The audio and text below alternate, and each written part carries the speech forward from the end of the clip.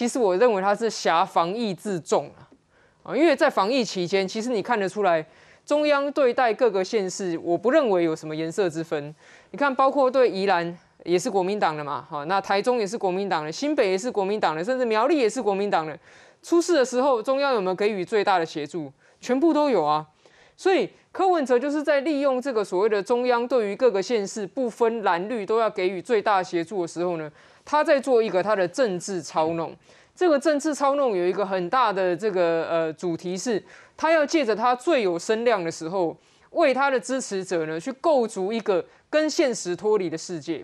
为什么我会说是跟现实脱离的世界？首先第一个，你看他每天开的这个防疫记者会。在他的防疫记者会上讲政治多还是讲防疫多？全国各县市的防疫记者会只有台北市是这样，每次都是政治大于防疫。今天全国人民关心的是什么？全国人民关心的是为什么台北市的确诊里面非居隔阳性的远远大过于居隔阳性，而且我们已经持续一段时间都这样子了，代表社区还有很多潜藏的感染源、潜藏的黑数。那柯市长你要怎么来解决它？在这个问题过去几天没有得到答案。大家在问说，哎，台北市有这么多个群聚感染的时候，是不是好歹你那个个案之间的关联图画给大家看一下嘛？就跟屏东的这 Delta 群聚一样，有没有画？到现在没有画出来。这些防疫的不讲，他在讲政治。他讲什么政治呢？首先第一个，他把他的防疫记者会当成是一个好像他自办的政论节目，而他自己就是政治评论员，在上面指东骂西，每天都是讲别人，你从来不会听到他检讨自己的任何问题，就像。今天我们讲这个唐凤的疫苗事情啊，说老实话，其实我知道很清楚啊。中央找北市开会的时候，北市有没有派人去？有。第一次六月十号，中央这个找北市的去开的时候，六六月十号的时候，北市府人还缺席。但是十七、十八跟二十五这三次开会，北市都有派卫生局人去哦。最后六月二十八号到七月二号，这个系统在测试的时候，哎，北市也有派人去参加。可是柯文哲他就可以表现好像一副他什么都不知道的样子，那他从来有没有检讨过他跟卫生局的这个基层的沟通是不是出了什么问题？接下来他在这个整个的他构筑出来的这个脱离现实的世界里面，他告诉大家什么事？他告诉大家说，所有的议员凡是监督他的，全部都是绿的。他对于他做错的事情，他做不好的事情，他应该被批评的事情。一概不论，他只对批评他的人直接抹上颜色，直接扣上帽子。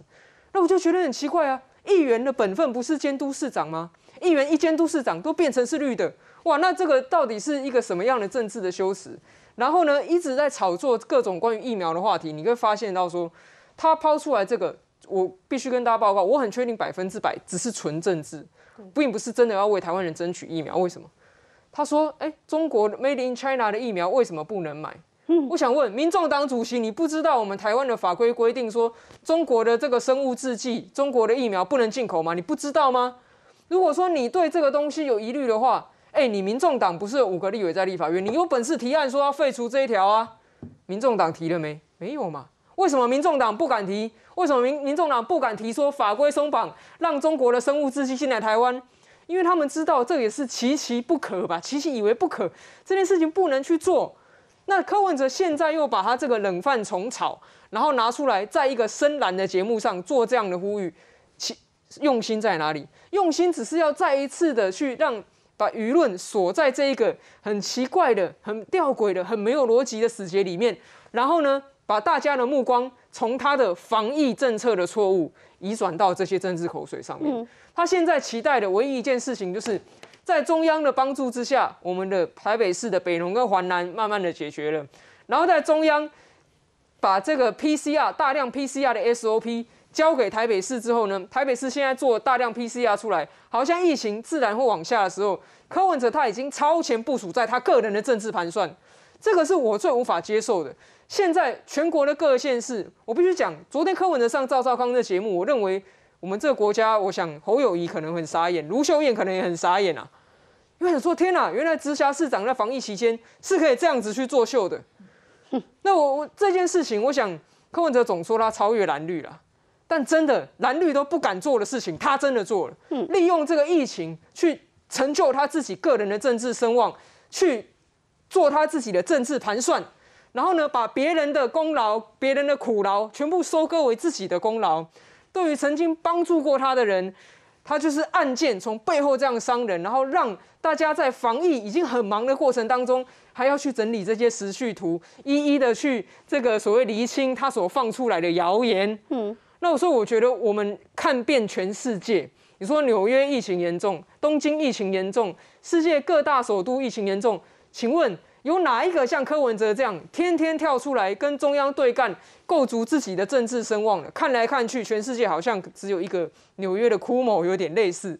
可是你要知道哦，在美国的疫情往下之后，库某的声望也往下了。嗯，因为人民对于台北市疫情的关注，从来就不是对柯文哲个人的支持。